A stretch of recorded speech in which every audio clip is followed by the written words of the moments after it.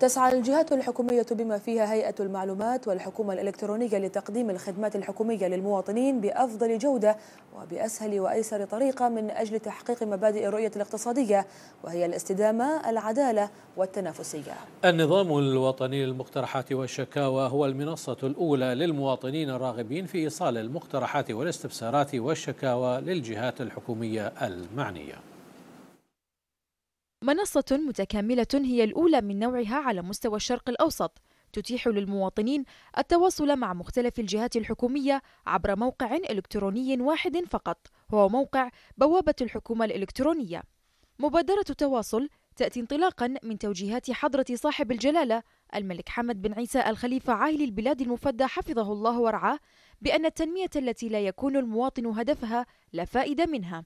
كما أن هذا النظام يأتي بناء على توجيهات صاحب السمو الملكي الأمير سلمان بن حمد الخليفة ولي العهد نائب القائد الأعلى النائب الأول لرئيس مجلس الوزراء ليحقق المسؤولية الوطنية التي تحتم على جميع المسؤولين الاستمرار بالعمل وبذل الجهود المتواصلة بإخلاص ومهنية لتحقيق تطلعات المواطنين كما أنه يخدم الرؤية الاقتصادية في كافة مبادئها. من خلال تأمينه لقناة تواصل دائمة ومباشرة بين المواطنين ومسؤولي الجهات الحكومية بما يحقق مبدأ العدالة والمساواة بين جميع المستفيدين من الخدمات الحكومية إضافة إلى التنافسية من خلال التقارير المرفوعة للجنة الفنية التي تتابع الشكاوى المتكررة والهامة لوضع الحلول الجذرية التي تضمن تبسيط الإجراءات وتقديم خدمات ذات جودة عالية للمواطنين.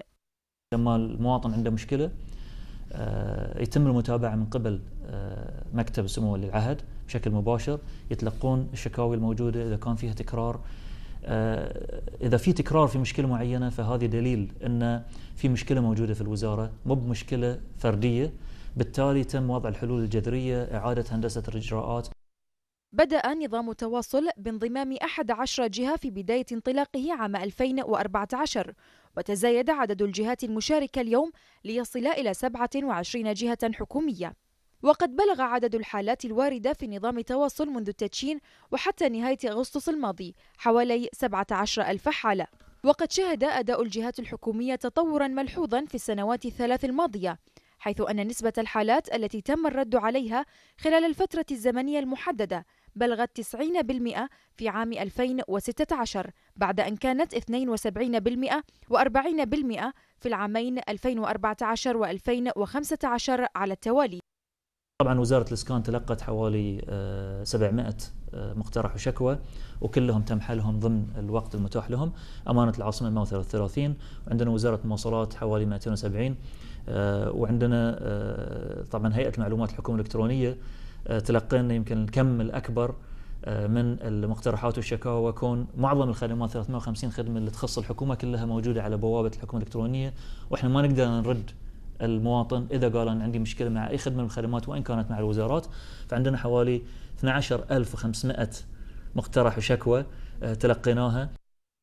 وإلى جانب الموقع الإلكتروني لبوابة الحكومة الإلكترونية فإن هذا النظام تم تطويره إلى تطبيق للهواتف الذكية مما يسهل توصيل المقترح أو الشكوى إلى الجهات الحكومية مع المرفقات وتعيين فترة زمنية محددة للرد على الشكوى بالإضافة إلى إمكانية متابعة الشكوى من خلال رقم المراجعة إلى جانب استفتاء رأي مقدم الشكوى حول الرد على شكواه.